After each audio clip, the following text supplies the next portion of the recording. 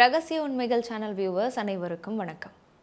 நம்மளுடைய குடும்பத்தில் ஒத்துமை அதிகரிக்கணும் நம்மளுடைய உடம்பு ஆரோக்கியமாக இருக்கணும் நம்ம வாழ்க்கையில் செல்வ வளம் பெருகணும் வருமானம் அதிகரிக்கணும் அப்படின்னா சில வாஸ்து டிப்ஸை பின்பற்றுறது ரொம்ப நல்லது.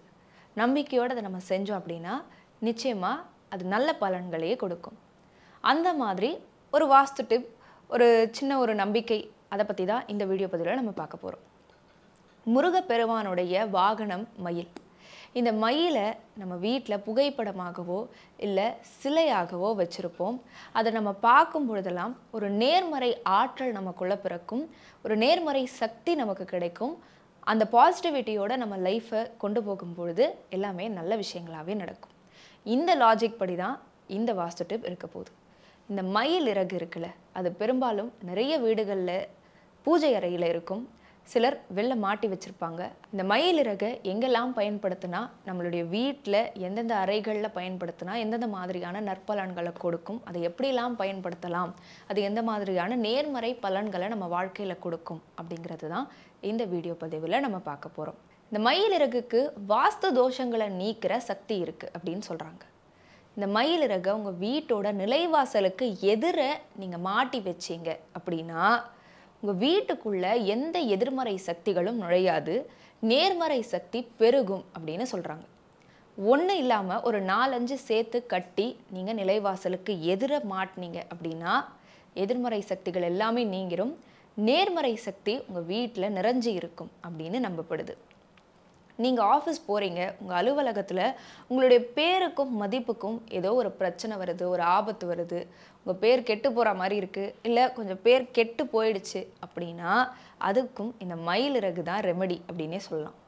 இந்த மயில் இறகை நீங்கள் வீட்டில் வாங்கி வச்சுட்டு காலையில் அலுவலகத்துக்கு போகிறதுக்கு முன்னாடி அதை பார்த்துட்டு ஒரு ரெண்டு நிமிஷம் ஒரு மெடிடேஷன் மாதிரி அதை பார்த்துட்டு நீங்கள் போனீங்க அப்படின்னா உங்களுடைய மதிப்பு சமுதாயத்திலையும் உங்களுடைய அலுவலகத்திலையும் உங்கள் குடும்பத்திலையும் மற்றவங்க முன்னாடி உங்களுடைய மதிப்பு கூடும் அப்படின்னு நம்பப்படுது. ஏன்னா மயிலிறகுனாவே அது உங்களுடைய அழகையும் மதிப்பையும் கூட்டி கொடுக்கும் அப்படின்னு நம்பப்படுது. அதே மாதிரி நீங்கள் அலுவலகத்துக்கு போகும்போது உங்களுடைய பாக்கெட்லேயோ இல்லை பர்ஸ்லேயோ ஒரு சின்ன சைஸ் மயிலிறகு வச்சு எடுத்துகிட்டு போகிறீங்க அப்படின்னா அதுவும் உங்களுக்கு நல்ல பலன்களே கொடுக்கும். உங்களுக்கு பணம் வந்து வீண் விரயம் ஆகிட்டே இருக்குது தேவையில்லாத தண்ட செலவு வந்துக்கிட்டே இருக்குது ஏதோ ஒரு வகையில் பணத்தை சேமித்து வைக்கவே முடியல. பணம் கையில் தங்கவே மாட்டேங்குது. வீண் விரயம் ஆகிட்டே இருக்குது அப்படின்னா நீங்கள் பணத்தையும் நகையையும் வீட்டில் எங்கே வைக்கிறீங்களோ எங்கே சேர்த்து வைக்கிறீங்களோ அந்த இடத்துல ஒரு மயிலிறகு வச்சு பாருங்கள் அதுக்கப்புறம் பணம் உங்களுக்கு நல்லா சேரும் அப்படின்னு நம்பப்படுது. குழந்தைங்க சரியாக படிக்க மாட்டேங்கிறாங்க. குழந்தைங்களோட படிப்பில் கவனம் செலுத்த மாட்டேங்கிறாங்க அப்படின்னா அதுக்கும் இந்த மயிலிறகு தான் காலம் காலமாக ரெமடியாக இருந்துட்டு வருது. அவங்க படிக்கிற புத்தகத்தில் இல்லை அவங்களுடைய ரஃப் நோட்லேயோ இல்லை அவங்க கணக்கு பாட புத்தகத்துலேயோ இல்லை அவங்க எதில் வந்து கணக்கு போட்டு ப்ராக்டிஸ் பண்ணுறாங்களோ அந்த புத்தகத்தில் நீங்கள் மயிலிறகை வச்சுருங்க. அந்த மயிலிறகை குழந்தைங்க திறந்து பார்க்கும் போதெல்லாம் அவங்களுக்குள்ள ஒரு நேர்மறை ஆற்றல் பிறக்கும் நேர்மறை சக்தி உண்டாகும். அதுக்கப்புறம் அவங்களுக்கு படிப்பில் நல்ல நாட்டம் வரும். இன்னும் நல்லா படிப்பாங்க. பிரெயின் ஷார்ப் ஆகும் அப்படின்னு நம்பப்படுது. இந்த மயிலிறகை நீங்கள் படுக்கை அறைக்குள்ளே வைக்கிறதுனால கணவன் மனைவிக்கிடையே புரிதல் அதிகரிக்கும் ஒற்றுமை அதிகரிக்கும் அப்படின்னு நம்பப்படுது. இந்த மயிலிறகுக்கு வாஸ்து தோஷங்கள் எல்லாம் மாற்றத்துக்கான சக்திகள் இருக்குது அப்படின்னே சொல்லலாம். ஸோ உங்கள் வீட்டில் ஏதாவது ஒரு அறையோ இல்லை எங்கேயோ வாஸ்து பிரச்சனை இருக்குது வாஸ்து சரியில்லை அப்படின்னா அங்கே நீங்கள் இந்த மயிலிறகை கொண்டு போய் வைக்கலாம். ஒரு எட்டு மயிலிறகை வெள்ளை கயிற்றுல நீங்கள் ஒன்றா கட்டி அந்த இடத்துல நீங்கள் மாட்டி வைக்கலாம்.